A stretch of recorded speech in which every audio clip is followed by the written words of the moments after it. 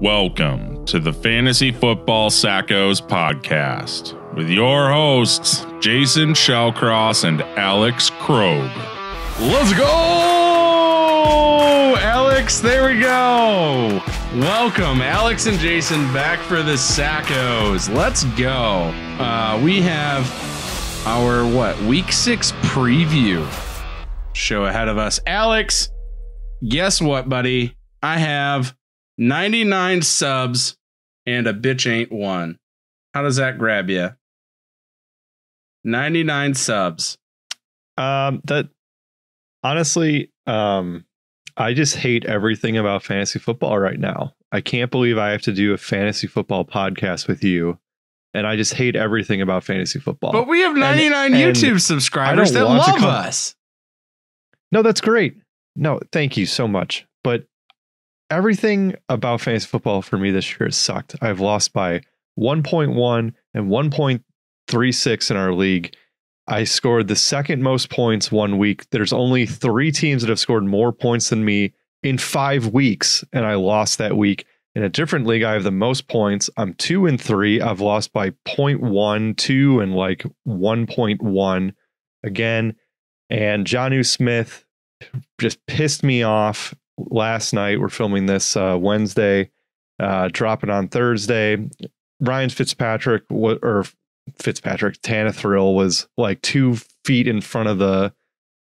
Oh, just everything makes me mad. Um, I literally got in my car this morning because I was still mad and just yelled as loud as I could on the way to work to feel better Wow. and now I'm getting ripped apart on online for me talking about Chase Claypool.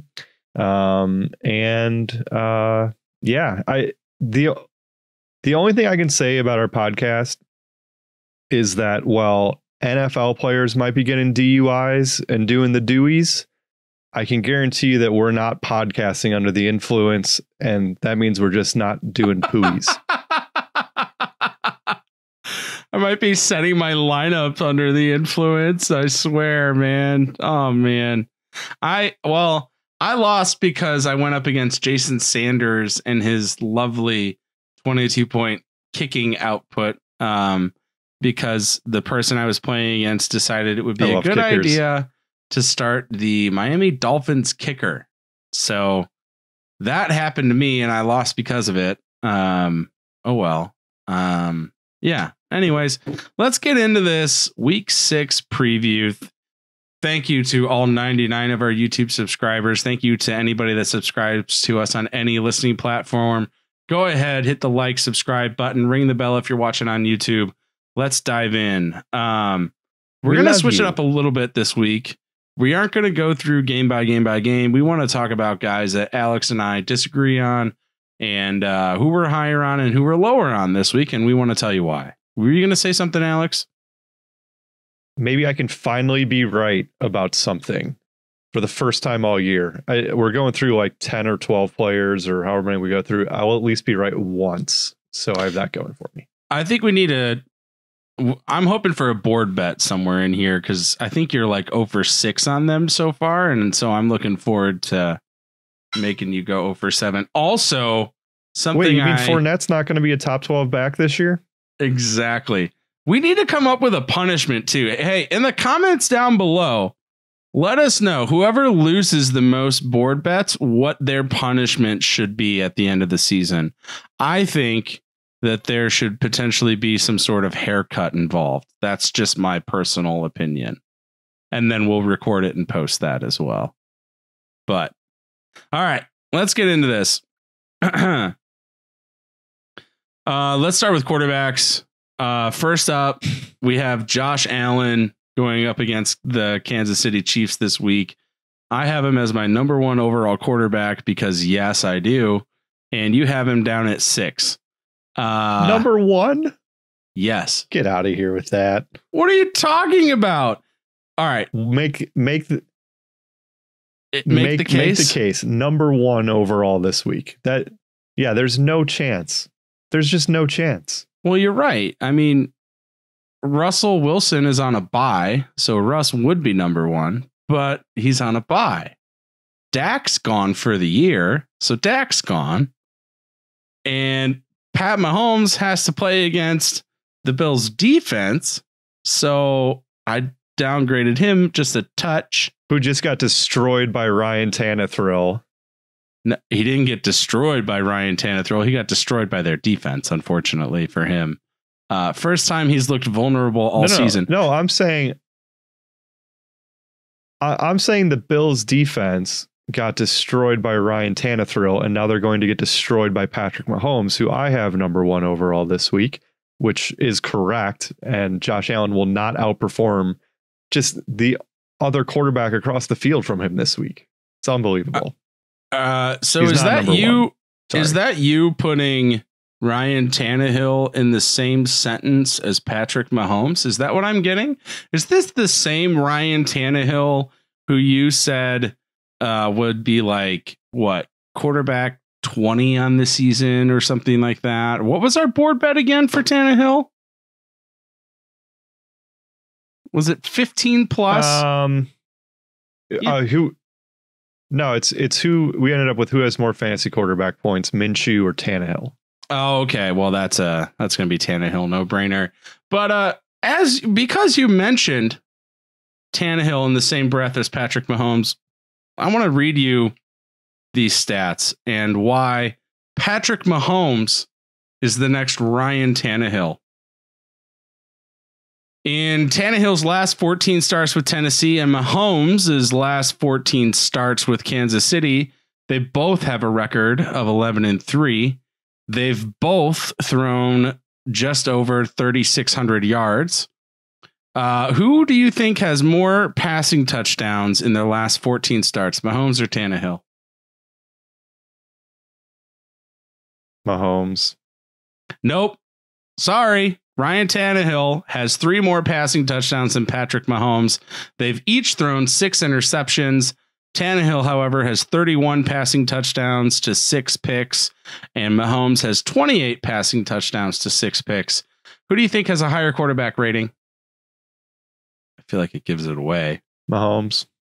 Oh no, you'd be care. wrong again I'm there. Gonna, I'm just going to feed in. I'm going to feed into you. Ryan Tannehill has a quarterback rating of 116.7 over his last 14 starts. Patrick Mahomes has a lowly rating of 102.3. So, Pat Mahomes, Patrick, rather, sorry, Mama Mahomes, is going to be the next Ryan Tannehill. He would be lucky if he should ever get to that Ryan Tannehill level.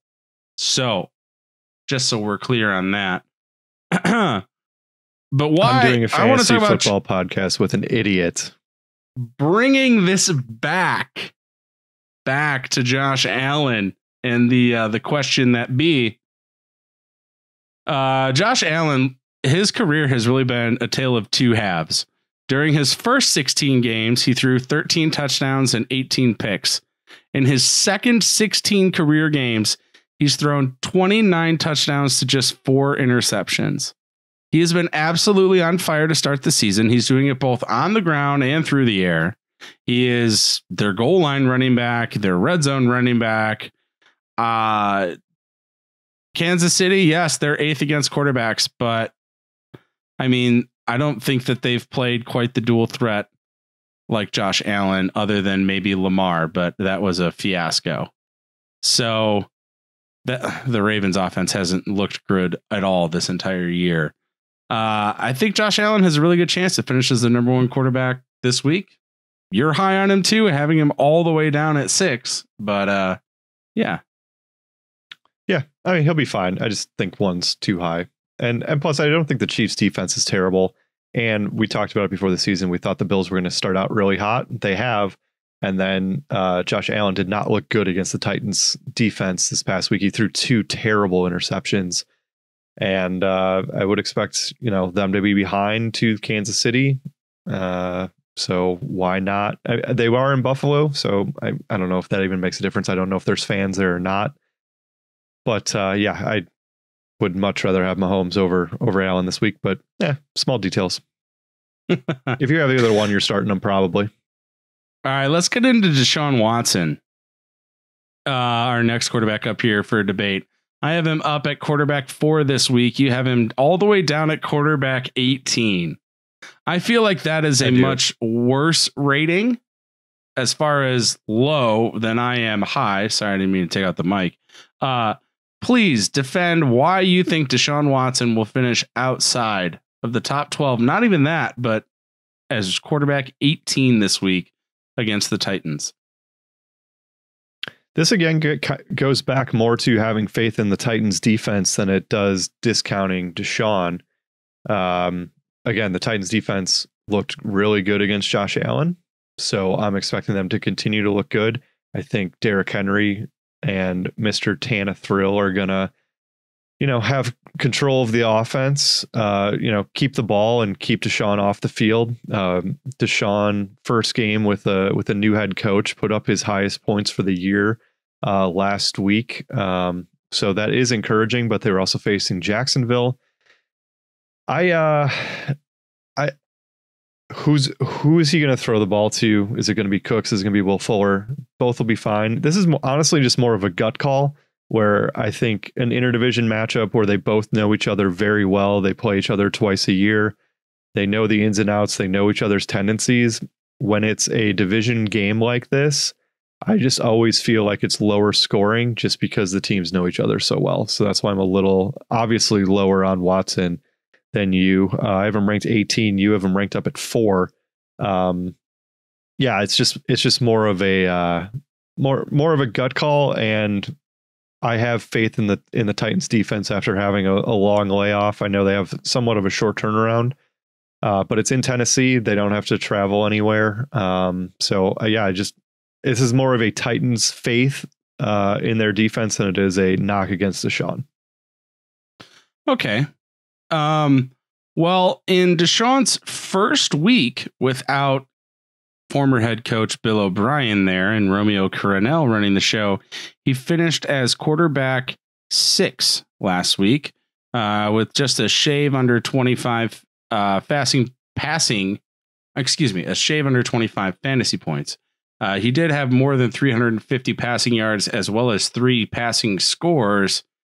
Uh, did throw two picks. Hate to see it, but a uh, couple of rushes for more than 20 yards. He always, you know, chips in a couple yards here and there every week. But I think the big thing that's worth talking about is how that offense changed. They set season highs in play action rate with more than 29% last week and air yards per attempt. So the passes are being finally pushed further down the field. Um, the play Yep. action rate was 29% and the air yards per attempt mark was 11.1. Under Bill O'Brien, he was on, they were only running play action 16% of the time, which was third lowest in the league. So different offensive philosophy, establish the run, run the play action pass, push the ball down the field, make those plays, hit Brandin Cooks, make him score some some points, even though he's on Alex's bench because Alex doesn't know who to start when to start. And uh, yeah, That's true. Tennessee is a middle of the pack team against quarterbacks so far in, in terms of fantasy output at 13th overall. So not a top 10 defense against QBs, upper half.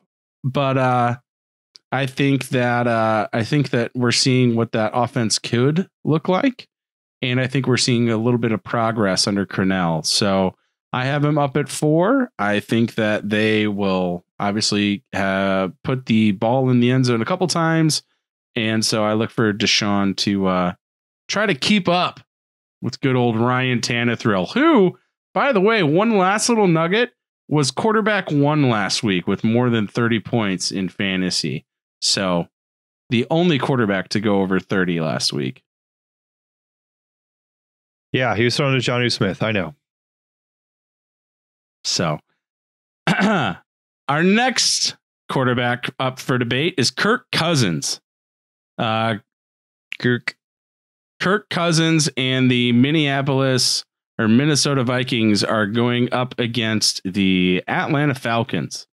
I have him ranked down at 13 this week, which is streamable option. Alex has him up at all the way up at quarterback six. Alex, why are you so high on Kirk Cousins this week? Uh, Atlanta defense do I need to say more? I mean, you you talked about it on our last pod of being the stream of the week. He's currently quarterback 25. Uh, we both have Adam Thielen as our number one wide receiver this week. We both have Justin Jefferson uh, up, I believe, in the in the late teens from a flex perspective. Yeah. Um, he uh, if if they're both going to be top 20 wide receivers this week, then how can Kirk Cousins not be a top five quarterback? Like that to me, that just kind of if if X and Y, then Z. So if they're both going to be that good, then Kirk Cousins has to be that good. And we saw what Teddy Bridgewater did against them, basically 300 yards all in the first half. Uh, they kind of slowed it down in the second half, but the the way to clearly beat them is through the air. And if it, you know Mike Zimmer's being a little coy on will uh, you know Will Cooks play or not, I don't think he's going to play. They got a bye week. Um, you might as well rest him uh, for the for the bye. Give him two weeks to get that groin fully healed. Nobody likes a groin injury. Not that I've ever had one. I just assume it has to suck, uh, and like really terribly. I, it has to be bad. So you got to get that thing healed up. Otherwise, you know, you there's more to life than just football. So I uh, I, I, do think that they they run the ball with with Mattison. Um, and uh, yeah, Kirk Cousins. If their wide receivers have to be good, then he has to be good. That's why I have him uh, ranked up at six. I'm just happy because that is the first time you've said Alexander Mattison without having to sing the freaking song about Alexander Mattison. Um, you still haven't watched Hamilton? No, no, I haven't. Sorry, sorry to everybody that's a huge Hamilton fan. I'm sure I will one day. I just have not yet. Uh, yeah, I mean, you I, pretty much you nailed need to, it. You need to come over and watch Hamilton with me. Only if we hold hands while we watch it. Uh, Atlanta, as you said, giving up the most points to quarterbacks, uh, 30 fantasy points per game currently. I'm high on him, not to say that I'm not. I feel like I gave him a huge boost in his ranking based on uh, the matchup with Atlanta. Um, I would never rank him as quarterback 13 were he not playing them. Um, yeah, he's only he's only gone over 20 points once this season. I'm just a little bit leery. So he's, a, I think, a great stream plug and play. But if I'm really desperate for streamers, I would probably try to pick up uh, Ryan Fitzpatrick before I tried to pick up Kirk Cousins. Um, next quarterback, Cam Newton. Uh, Newton and the Patriots uh, go up against Denver this week. I have him down at quarterback 12. Alex has him at quarterback three. Alex, why are you high on Cam this week? All right, so Cam Newton, Denver's terrible. They're absolutely awful. Uh, who who have they? I mean, Sam Darnold destroyed them a couple weeks ago with with Jamison Crowder. Cam Newton is COVID COVID Cam, fully immune or whatever he is now. Fully He's immune. just gonna yeah, I don't know. The president says it. It's got to be true. The the fact that it it I guess it, this kind of depends on on what kind of league you're in, right? Because if if it's a pat, you know, four points for a passing touchdown, then Cam again, I still think he's the goal line back. Denver is giving up uh the 26th most or like they're the 26th worst team to giving up points to quarterbacks. I mean, Bill Belichick is just going to be like, hey, Cam, you haven't gotten hit in like three weeks. Here, just go run the ball a whole bunch. And I'm pretty sure he's going to. The first week, he had 15 carries. Second week, 11 carries. Third week against Las Vegas, he had nine carries. If he's going to get 10 carries a week and still throw for 200 yards uh, with a couple bye weeks this week, I have Cam up at three. Denver's terrible. I expect them to roll over Denver. So uh, yeah, give me give me all the cam that all the cam stock that uh, I can possibly buy. The only thing that I think is COVID is a respiratory affliction, respiratory viral virus. And so I'm just not I'm not sure if you sit out of football for 2 weeks, you aren't really involved as much in the game planning I just think that they are going to try to lighten his load and maybe ease him in a little bit.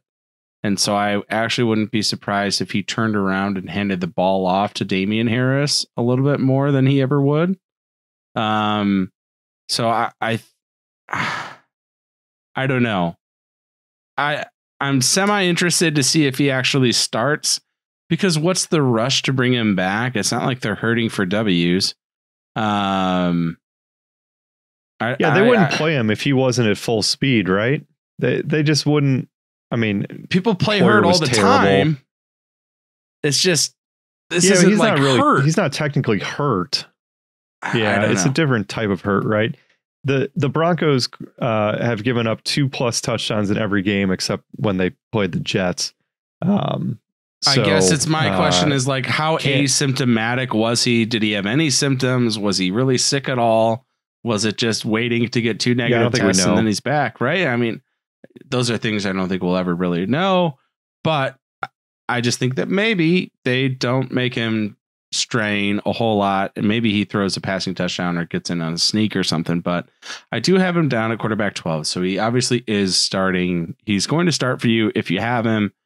I just think that maybe you shouldn't expect full blown Cam in this one. Maybe next time.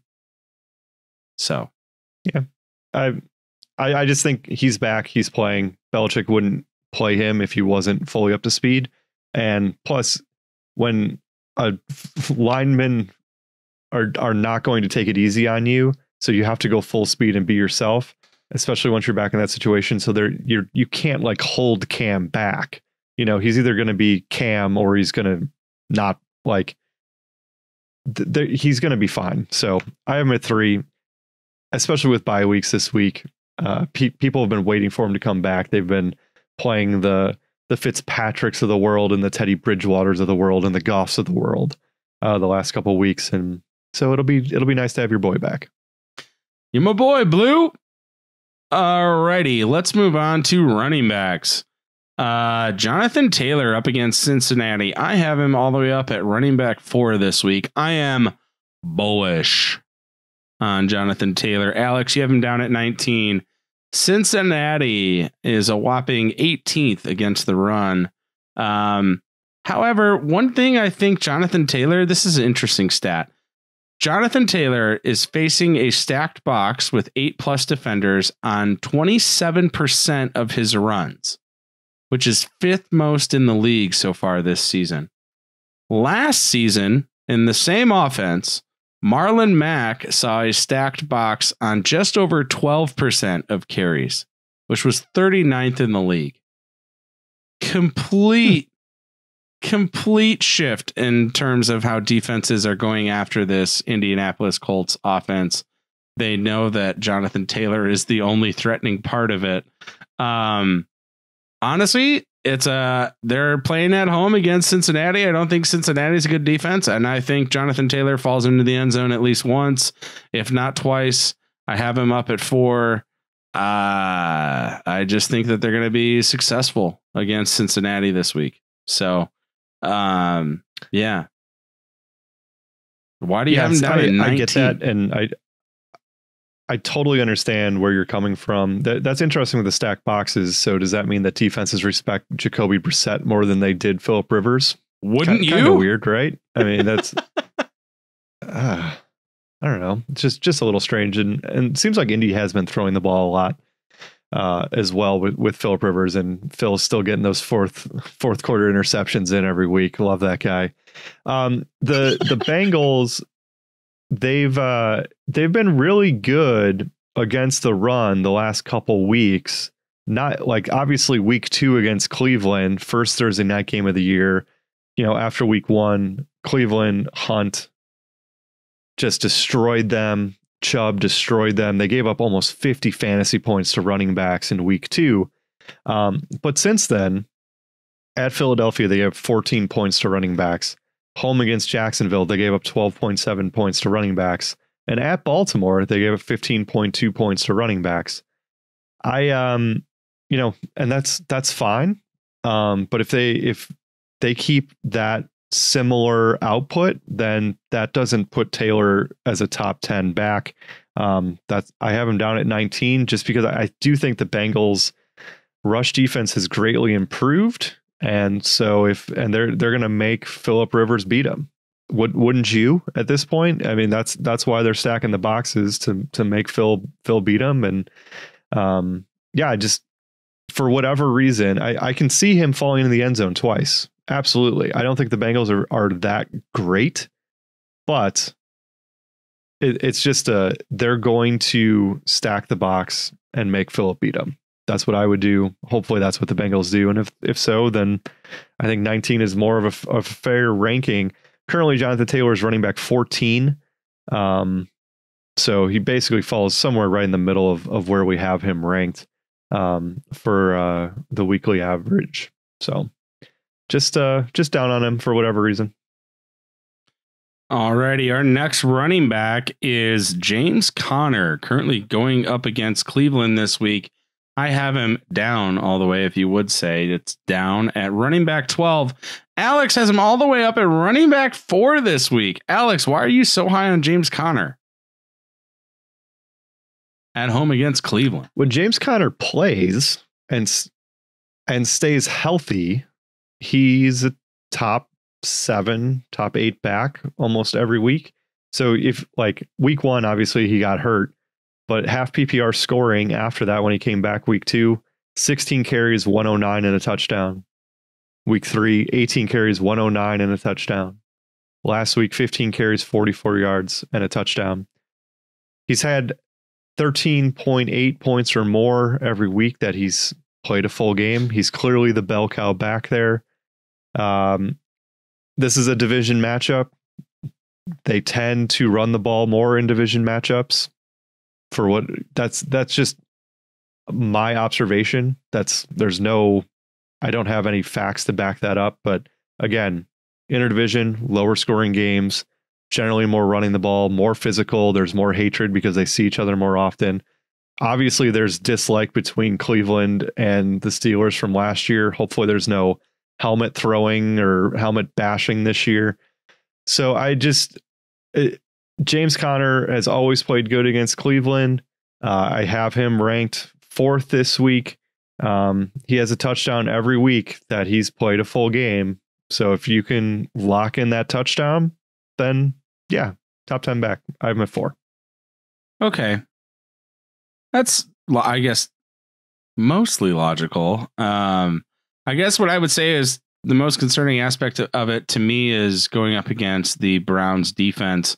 They're a defense that you have a lot more success uh, beating uh, by going through the air than you do on the ground. Uh, Cleveland currently giving up the mm-hmm. second most points to receivers um, and only giving up the fourth fewest rushing yards allowed per game currently in the NFL. Only Tampa, Pittsburgh, and Indy are giving up fewer fewer rushing yards per game. Um, the Browns have uh, scored more points through the first five weeks. This is a fun stat. The Browns have scored more points through the first five weeks this year than they did through the first nine last year. So they're also a better team than they were last year and seeing more success themselves. Um, I just think that really, I think that Ben's going to have to go through the air to beat him. And we saw that Ben's really good at going through the air uh, last week. And we also saw that the Steelers aren't afraid to sure. turn to receivers down in the red zone and at the goal line. Chase Claypool getting targets and touches and rushing attempts inside the five yard line. So I'm just, I'm a oh little my. bit leery of them being able to go big on big against Cleveland, uh, who's currently giving up the fourth fewest rushing yards per game in the league. So I'm still not all the way down on him, especially with the buys and whatnot. I still have him as a top 12 play. I just think that this will not be one of his better weeks this season. So I am a little bit down on James Conner. Yeah, I've I've also been waiting for Conner to start catching the ball a little bit more. I mean, he has two plus catches in every every game, but I, I've I'm kind of waiting for like that six catch for you know 35 to 70 yards with a touchdown. It it just hasn't happened yet for whatever reason, but I feel like it's coming. Uh, he is a good receiving back. Um, and if uh, if the way to beat him through the air, he's still their best receiving back as well. So maybe he gets in through the air here too. Uh, next up, running back Myles Gaskin, go- currently going up against the New York Jets this week. I have him as my 13th overall running back. Alex has him at six. You gotta like the uh, additional involvement that you're seeing out of him um, in that offense. The Jets are the fifth worst in the NFL against the run. Is it just the matchup against the Jets, Jets, Jets, Jets, or is it anything more than that? Yeah, clearly, clearly, just the matchup. The, the most encouraging thing about last week was uh, Gaskin getting a one-yard touchdown run, and they didn't put Jordan Howard in for the vulture. Um, that touchdown came in the first quarter, which you have to be super encouraged about. Twenty-one touches last week. Um, not super efficient from a yards per carry, um, but it was still the San Francisco defense, and they had a sizable lead, and they were moving the ball all over them. So having you know under four yard uh, average per carry against the 49ers is not, you know, damning or anything like that. Not not a big surprise. 21 touches against one of the worst defenses in the NFL. Sign me up. That's that's all it is. It's a it's strictly a matchup thing. And uh, for the first, I mean, Gaskin's first touchdown was last week. He's been remarkably consistent. Um, you know, basically since week one, which nobody even knew who this guy was before the season started, and he's clearly been their their best playmaker um, on the ground. Uh, I think you could say Parker and uh, Gesicki have probably been more explosive, but um, yeah, Gaskin's super consistent. I'm high on him this week, mostly because the Jets suck. Yeah, I think the his personal usage as in terms of snap counts and snap percentage has largely remained unchanged other than week three when he played 75%. Every other week is between 63 and 65%. So he's only in on about two thirds of snaps. Um, however, when he is in, he's getting a lot of usage. But what I would say is Jordan Howard, for the first time in five weeks last week, saw 0% snap usage for the first time. He did not see the field last week, was in on zero snaps. Wow. And that is what is going to make Myles Gaskin turn the corner from a flex running back to a mid to low end RB2. If they can keep if they keep Jordan Howard off the field, they leave Myles in, he's getting that goal line work, all the work inside the 10 and red zone. That's where fantasy points are made. Um, so, and we're seeing that now. I I don't think I'm particularly low on him, uh, just given the state of that offense, at nope. least on the ground. Just because I don't think he's ever going to touch 100 yards rushing. Um, he might get 100 total yards, um, but I don't. I would be shocked if he hit 100 yards more than he, like he twice. could this week against the Jets. I was gonna say if he does it more than like twice on the season right. or maybe yeah, three I'd, times, I'd be shocked. But yep, and and there's a floor here too where he has at least three catches and at least 22 yards receiving in every game. Uh, so you're you're getting a guaranteed floor with a super high end upside against one of the worst defenses in the NFL. Um, Myles Gaskin currently RB twenty three. You have to expect that to continue to go up um, the rest of the season, especially if Jordan Howard is uh, is not going to play. I will be interested. You know, since we last filmed, you know, Lev Bell got cut, and we haven't really talked about it. I think we will at the end here. I, I would not be surprised to see the Miami Dolphins cut Jordan Howard. Um, there's no point in taking up a roster spot for a third string running back that's not going to play special teams that that's a lot of times what you see on teams is those ancillary backs they have to do more than like if you're not going to be on the field on offense then you have to play special teams. You either have to cover kicks or kickoffs or punts or whatever and jordan howard isn't doing that. So what's the point of even having him on the team? Just cut him take the cap hit. I believe they signed him. I don't know if it was a one year deal or two year deal um, but just cut him. And so just keep your eye on that because he might be pick upable if he does get cut. So just something to monitor there. If he signs somewhere else in a meaningful role. All right, that does it for running backs that we are going to debate. Let's move on. We're going to do a tight end and then we'll hit receivers. Our one tight end that we are going to debate this week is Evan Engram playing against the Washington Redskins this week. I have Evan Engram all the way down at my tight end 11, so barely yeah, a, a fringe tight end one, and Alex has him up as tight end five this week. Uh, I am shocked and can't believe it. Alex, why is Engram a top five tight end against the Washington Redskins? Oh, I'm sorry. Mostly the Washington related, football uh, team. Wallers. the Washington football team. Have to correct Sorry. myself. Engram should have had two touchdowns last week, one on a trick play, um, which was great, and the lineman wasn't set. He looked really explosive last week. I know he didn't have the ball that much. They had to turn around and give the ball to him on a on a reverse uh, to get him in the end zone, but he looked super explosive when he did have the ball. Uh, his targets so far this year seven, eight, five, ten, and two. Um, last week was, I believe, his second highest scoring week, even though he only had two targets. Um, but again, he's stayed healthy and he's getting targets that you like to see at the tight end position. Um, Washington is giving up a good amount of points to tight ends. Week one, Philadelphia, they gave up almost 30 points to tight ends. Week two against Arizona, th- who is their tight end? I don't know if they have a tight end. They didn't do much. Um, week three, Cleveland, they scored a touchdown. Week four against Baltimore, Mr. Andrews had two tutties. The Rams had 13 points against uh, their tight ends, had 13 points against their defense. So they're giving, they're the 29th worst against the tight ends. So they're the third, third worst against tight ends. So yeah, give me some Mark Ingram. Okay. I would also say that they've probably faced some of the better tight ends in the league if the if they uh, were up against uh, Dallas Goedert in week one when he absolutely lit the world on fire. But yes, um, I hear And tight end, like from a tight end talent position, I do think Evan Engram is one of the more talented tight ends from just a skill set position in the NFL. So, yeah, they might have faced some of the better tight ends, but who's to say Evan Engram isn't one of the more skilled tight ends when he's healthy and their offense is actually functioning properly?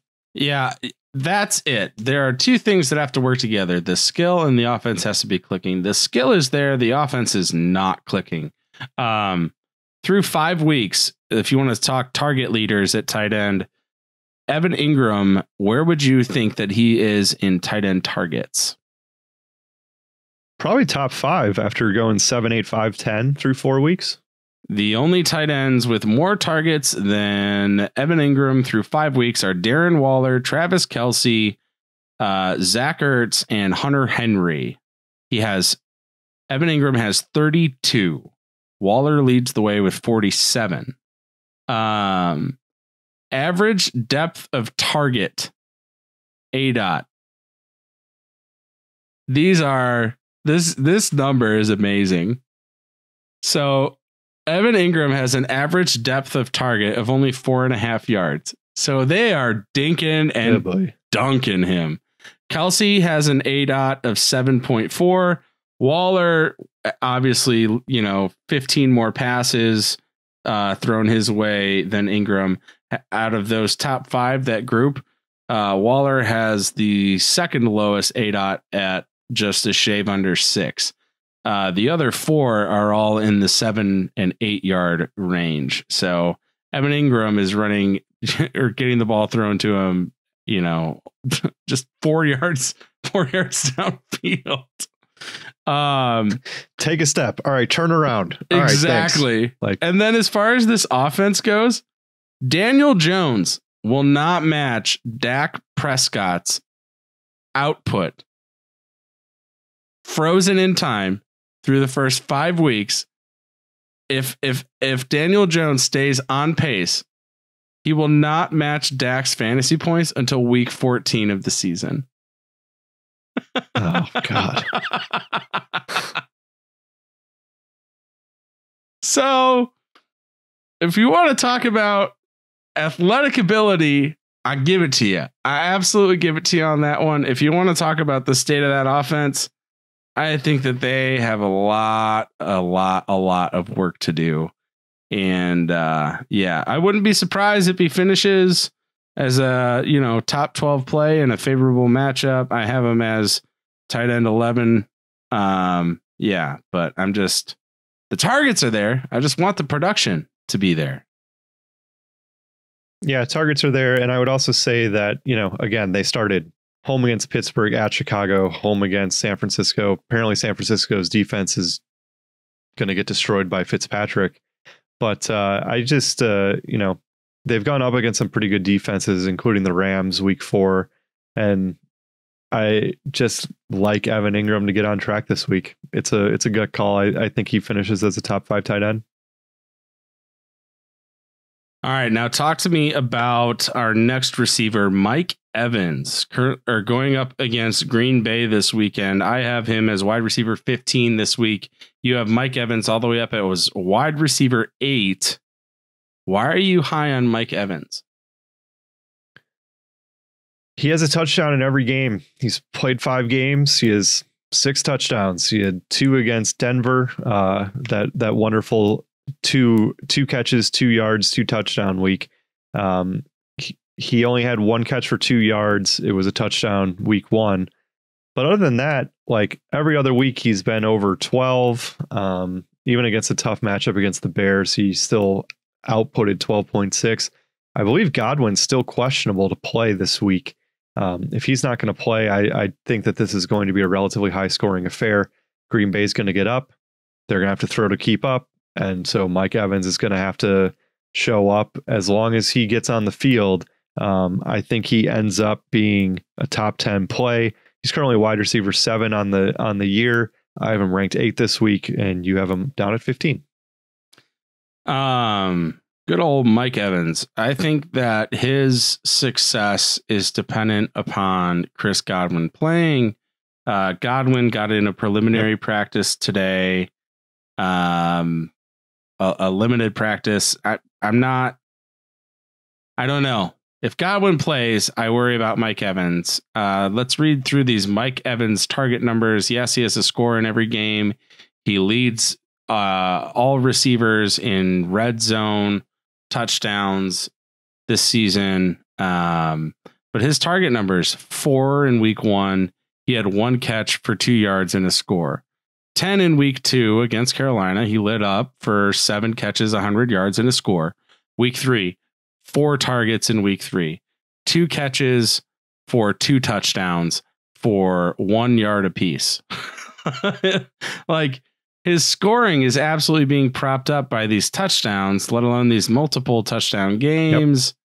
Yep. Um, his yards by game two yards against new uh, new orleans in week one 100 yards against carolina the next week two yards for two touchdowns in denver in week three 120 yards against the chargers in week four and five catches for 40 yards and another score against the bears last week it's just if he stops or when he stops scoring touchdowns, it's going to be a precipitous fall for Mike Evans. Um, it's, and I, and I think it's not going to be pretty when Godwin comes back and is healthy.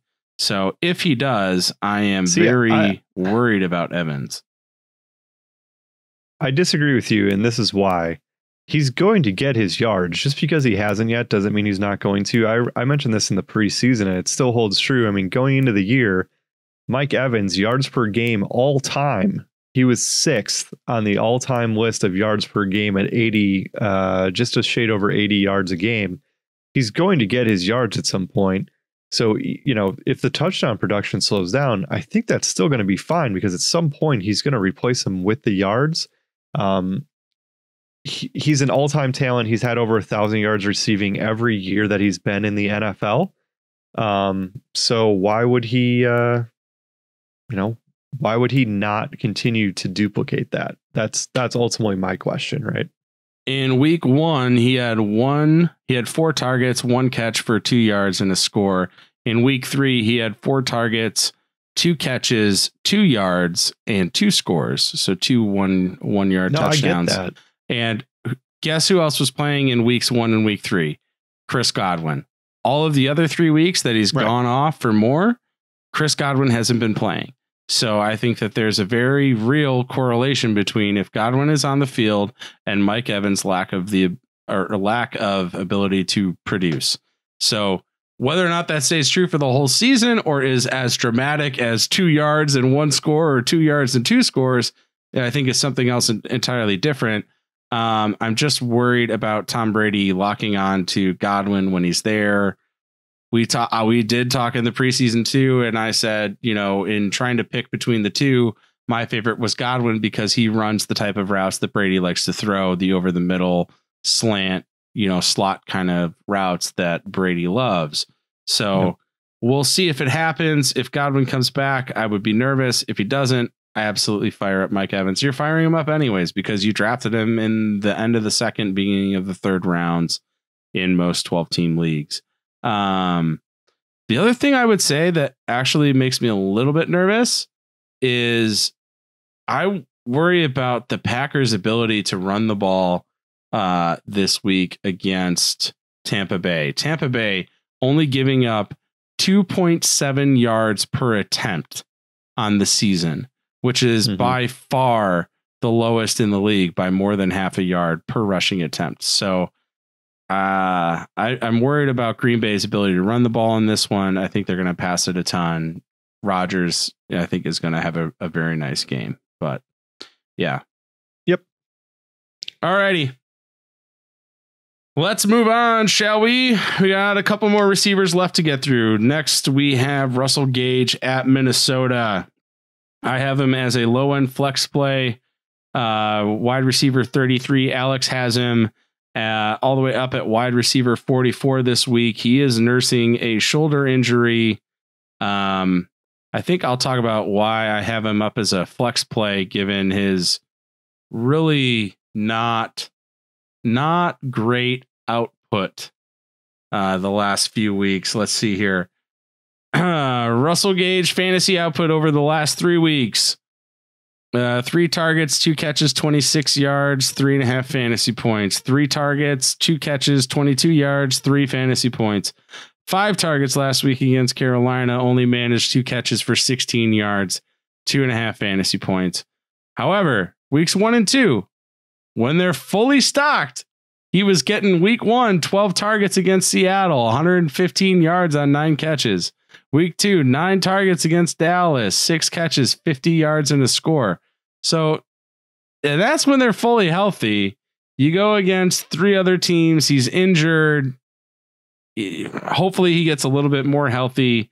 They're going up against Minnesota, who's giving up currently the sixth most points to receivers. I think he's a fine flex play, dart throw.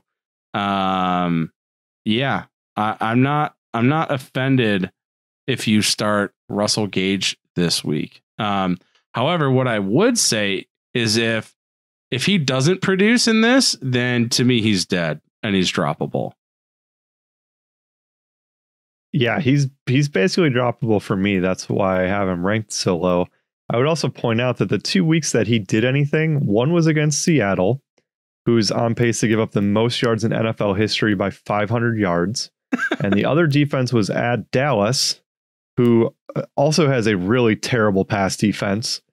And so since then, Chicago, Green Bay, Carolina, he's done nothing.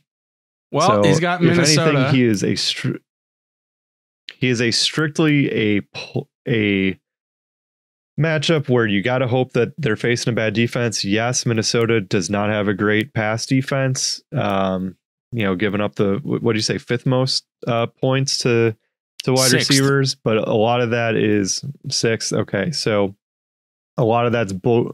Uh, because Green Bay lit them up for four touchdowns week one. Um, and then last week they faced Russ and Ryan Tannehill's in there. So they, uh, you know, they've they've faced some good quarterbacks, um, and we we don't know what that offense is going to look like um, now that they fire their GM and co- and head coach. Maybe Todd Gurley continues to be a top ten back. Who knows? We don't know. Um, I just uh, I just don't think Russell Gage is really all that playable unless you're really desperate. I'm not going to fight you. Uh, he's a low end flex play, and I think if he doesn't produce in a plus matchup, then he's absolutely droppable. Um, we'll see. Yeah, I don't know. I don't know if we even mentioned this to to start the pod. We probably should have. Um, you know, we're only talking about players that we really like. These are the mo- the players that we disagree the most on. Um, per, you know, if you go check out our rankings at thefantasyfootballsackos.com, you will see that uh, the rest of our rankings are pretty tight and close together. Um, we're just trying to highlight people that we disagree on. For all other ranking questions, like go check that out. We have flex rankings posted uh, for you to for you to peruse, um, and you can see how right we are. peruse me. Oh man. All right. Let's get into our last receiver here to talk about this week. Uh man, Alex got hammered on him in our YouTube videos, which we will get into later as well. Uh let's talk about some Chase Claypool, the hot, hot waiver wire ad of the week, Chase Claypool. I have him as a low end flex play this week.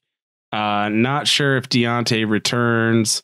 Alex has him all the way down as wide receiver 46, which is honestly just offensive after he led the league in scoring last week with four touchdowns, three through the air, one on the ground. Uh, everybody in the world agrees with your boy here, Jason, on how uh, Alex is probably the worst valuer of uh, waiver wire ads uh, rookie receivers, maybe in history, probably known to man, and maybe that's why he's owned. How much did you spend on Nyheim Hines week one? I'm- how, much? I'm- how much did you bet on Nyheim Hines? I'm talking about rookie receivers, not irrelevant, No, hold on. bad No, let's, let's waiver back up. How, how much? How much An did you spend on amount. Hines? I think it was probably 30% to 40% of my fab on Nyheim Hines in week one because I was duped into believing that he was Austin Ekeler light. And turns out he is not uh he's not the light version, he's like the Miller genuine draft version. He's like the keystone version of Austin Ekeler. So He's been flushed. He's been dropped from my team. I don't want to talk about it. Uh, however, yeah, it happens. We all get duped every once in a while. So, anyways, let's what get- goes up must come down. It's going to come down. It's going to settle in not nearly as low. Cle- Cleveland's giving up the second most points to wide receivers at more than 47 a week. I'm assuming that Diontae Johnson is back in my ranking. Just for the record, I like him more. I like Juju Smith-Schuster more. Um, the only way that he ends up higher than where I have him ranked is if he scores a touchdown. He's he's probably not going to. He had coming into last week, he had six total catches, and we're all of a sudden he's the second coming of Randy Moss. Like, just stop. Steelers head coach Mike Tomlin said that Diontae Johnson would be limited at practice to start the week and that his uh, participation would determine whether or not he's available on Sunday. Um, even though the injury doesn't sound too serious, neither him nor Juju practiced on Wednesday. So interesting. Uh, we'll see if he starts. Might be limited to start the week, and then you know gear up in time to to get the game in Sunday against the Browns. But he's just he's dealing with a lot of minor injuries, and he has been all the way back since the summer. Um, I guess my thing is, I think either Diontae or Chase Claypool will have Ben's attention or Ben's priority of targets in the pecking order over Juju. And I really don't hmm. think that we're going to see James Washington when all three are finally healthy and available. I really think that James is going to disappear. Claypool easily looked like the best receiver, best player on that field last week. I don't think they're going to just, no, sorry, back to the bench with you. Sorry. Like, I don't think it's going to happen.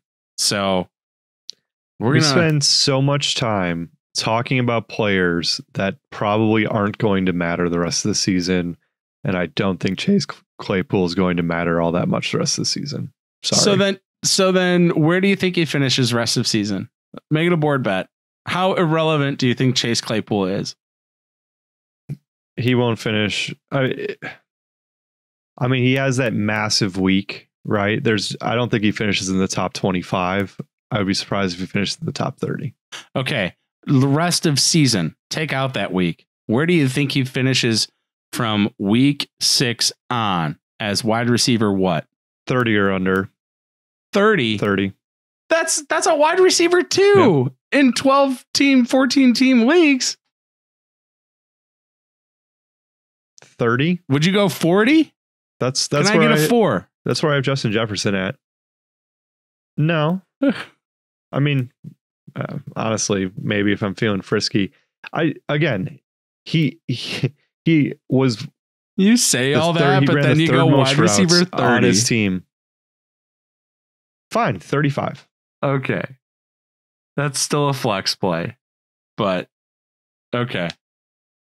All right. Wide receiver 35 rest of season. Fine, I'll give you 40. Put it on you I'll give you 40. I'm not That's fine. you you plant you your 40. flag and you put it on the board. I just think it's gonna happen. Okay. But Okay. Woof.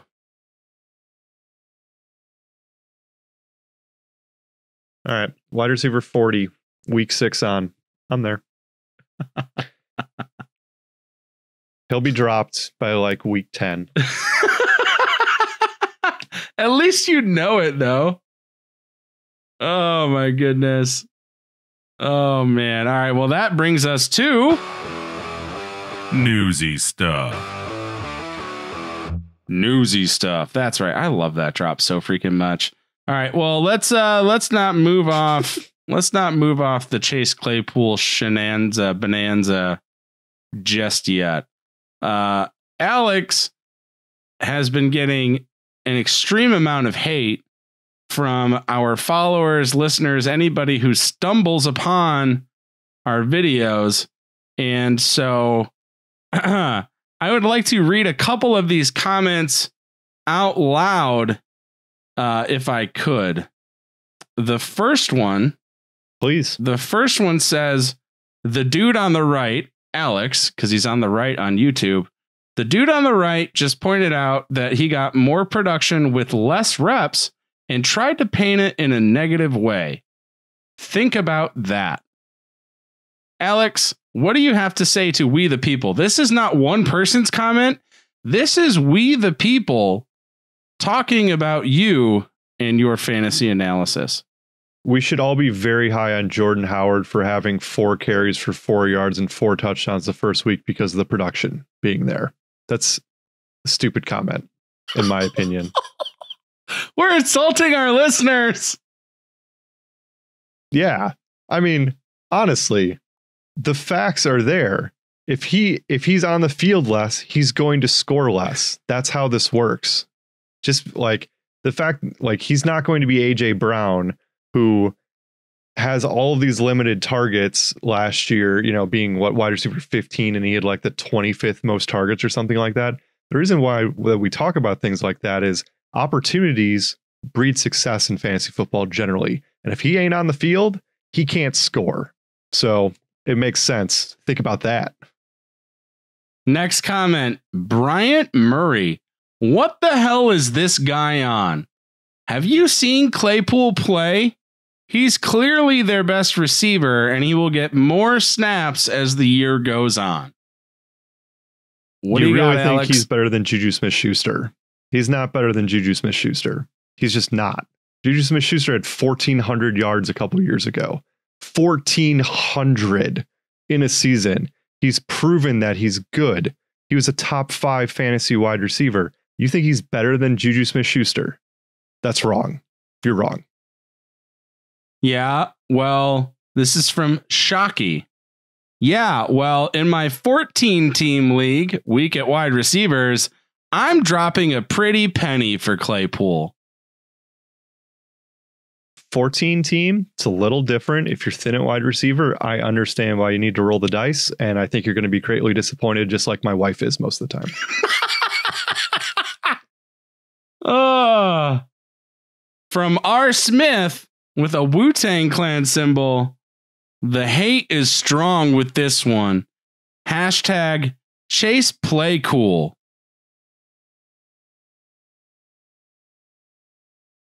Okay. Ooh, don't hate the player, hate the game. Hate the hate the mid level You can hate, hate you the hate mid level you want. fantasy analysis. you can hate me, but I'm right. Ooh. and then lastly, from Khalid Musid, keep the videos coming. We sure will, Khalid. I uh I don't think we're gonna be going anywhere anytime soon. Um oh actually three minutes ago we had another one. Uh Oh, this is great. DNA Media Group commented on Bryant Murray's post and said, Agreed. Furthermore, let's point out week one, when the game was on the line, they put the ball in Claypool's hands to finish the game out. Let's also add in the fact that there was no preseason, and every week, Claypool production has gone up. Based on the metrics, he's closer to Calvin Johnson. He has speed, good hands, and has been amazing with limited targets. What's up, Calvin Johnson Claypool? How you doing? What do you have to say, Alex? he, he had one catch for 24 yards in week three, and now all of a sudden we think he's going to be a top 20 wide receiver all year. I mean, seriously, it's ridiculous. oh, the hate. I love the hate. Let the hate flow through you, listeners. See, pe- people like you can listen to us and we appreciate it. But just because I say something that you don't want to hear doesn't mean I'm wrong. oh, man. Don't ever say that to your wife. She's All used to it by now. Let's get off of Claypool, please. And your wife. oh, man. In more newsy stuff, uh, Le'Veon Bell obviously has been cut. Everybody knows it by now. Um, he made $28 million in just 18 games with the Jets. Uh, evidently, they It's had good if you can get several. They had several interested trade partners. However, in the end, nobody wanted to cough up for that contract. So the Jets had to bite the bullet and cut him. Um, unbelievable. So we have quite a little horse race developing for the services of Le'Veon Bell with the Chiefs as the very early favorites. He actually already uh, follows Patrick Mahomes on Twitter, sent him a follow uh, on Wednesday night. So eh, evidently, they're just kind of working out the details. There's four more teams that are horse jockeying to get his services and to get him under contract, but I just am not sure how. I, I don't know. Do you think he? Do you think he signs with the Chiefs? So it, it it looks like the five teams. If he doesn't sign with the Chiefs, it's going to be between the Bears, Raiders, Patriots, and Dolphins. Um, obviously, if he if he signs with the Chiefs, uh, Clyde Edwards-Helaire value uh, drops uh, significantly. Uh, before we came on the pod, uh, Jason actually traded Clyde uh, for Tyreek Hill, um, just on the off chance that Lev Bell does sign with the Chiefs. Um, so if you're a Clyde owner, um, and he signs with the Chiefs, you that that would just suck. That's a first round pick, maybe early second round pick that all of a sudden doesn't really have a whole lot of value potentially. Um, Bears, you're worried about him taken away from Monty, or it'd be interesting to see how much they do uh, continue to use Cordarrelle Patterson in the backfield. Their Raiders, obviously, that would hurt Josh Jacobs' value uh, significantly. Patriots, I mean, just add them to the smorgasbord of uh, of running backs there, and then Dolphins, Gaskins um, would would be impacted the most, and I think you would definitely see Jordan Howard get cut uh, if they did sign Lev Bell. So um, those are kind of the five teams. Um, the report is that he's going to sign either tonight after we're done recording or early tomorrow when this is dropping. Um, so I, I think if you're a Bell owner, you're actually happy that he got cut. Um, for the Jets, uh, I guess you're just going to roll roll out the carpet with with Frankie Gore, uh, who I did say would be fantasy relevant before the season started, and here we are starting running back week six, the ageless wonder Frank Gore. So yeah, it'll it'll be interesting to see what happens. Yeah, actually, um, Chiefs player Chris Jones actually posted a video on social media with Le'Veon Bell in it, screaming "What if?" hashtag What if at the Chiefs. Let's go at Le'Veon Bell, and it's him and Le'Veon Bell hanging out, screaming about Le'Veon Bell signing with the Chiefs. So we'll see if they're able to come to a deal. It would absolutely destroy, I think, Clyde Edwards Helaire's fantasy value for the season. Uh, Clyde Edwards Helaire is 0 for 7 at the goal line so far this season. I mean, that's the one thing that's Six really of those missing. carries were week one, though. That's the one thing that's really missing from his game. Uh, so far in the season, he's produced. You know, he's he's getting 100 total yards in every game. He just hasn't been able to push the ball over the goal line and get into the end zone. I think Le'Veon's going to struggle just the same. Quite honestly, I just think that that offensive line isn't exactly where it needs to be in terms of moving D lines off of goal line, off of the goal line and whatnot. When everybody's selling out, you got a stacked box. Um, Lev Bell, I think he's a favorite for the Chiefs. If I had Clyde Edwards Helaire, I would be doing everything I can to try and probably trade him for something of equal value.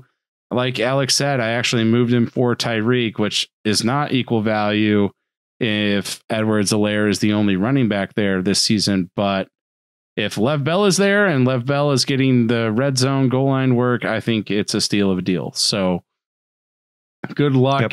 to all of our Clyde Edwards Helaire managers out there. And Sam Darnold has to just be like crying in a corner as he sees Le'Veon Bell and Jamal Adams escape to freedom from from Hello, Adam darkness, Gaseland. my old friend. yeah. Oh my goodness, man. Um, and then lastly, we have something that honestly kind of sucks to talk about. Uh, we have a player doing something stupid, reckless, irresponsible. Uh, Melvin Gordon got a DUI last night, or, or well, not last night. By the time this airs, it'll be two nights ago. Uh, got a DUI Tuesday night. He came into practice on Wednesday. Uh, evidently, he immediately called the Broncos ownership, told them what happened, owned up to it, apologized. Vic Fangio came out on Wednesday and said he's undecided whether or not Melvin Gordon will be forced to sit out against the Patriots in Week Six as punishment. Uh, he said, "quote He's one of us. We're gonna love him, but there will be some consequences to what happened last night." So what a time for Phillip Lindsay to come back into the fold. Um, those Denver beat Mhm. reporters can't really talk about what the depth chart would be at, at practice and who's getting reps over who anymore. But he was sent home from practice. He did not practice today. So you have to imagine it was all Phillip Lindsay all the time at practice. We'll see how the week unfolds. Um, I wouldn't be surprised if Gordon is suspended at least one game. I don't know what the league will do. I'm um it's obviously conduct that that's not the best you know for the league. So yikes. What do you have to say other than that, right? Yikes. Drinking and driving's bad. Yeah, let's not do that. That's it. On that very sobering note, thank you for sticking with us and may Le'Veon Bell ruin all of our seasons and and just continue this lovely 2020 fantasy football season that that was or is. Sobering note. Wow. What a transition. Uh, right. I'm going to the social media page. Thank you guys for watching. Thank you for listening. Please follow us on social media. We are at the FF Sackos everywhere. Hit that like button, hit subscribe, ring the bell if you're watching on YouTube. Thank you guys for everything. And we will catch you on Tuesday for waiver advice. Have a good night. Good luck in week six and happy tax day. It's finally tax day, October 15th. Yes. Thank you for listening to another episode of the Fantasy Football Sackos podcast. Follow us on Instagram and Twitter at the FF Sackos.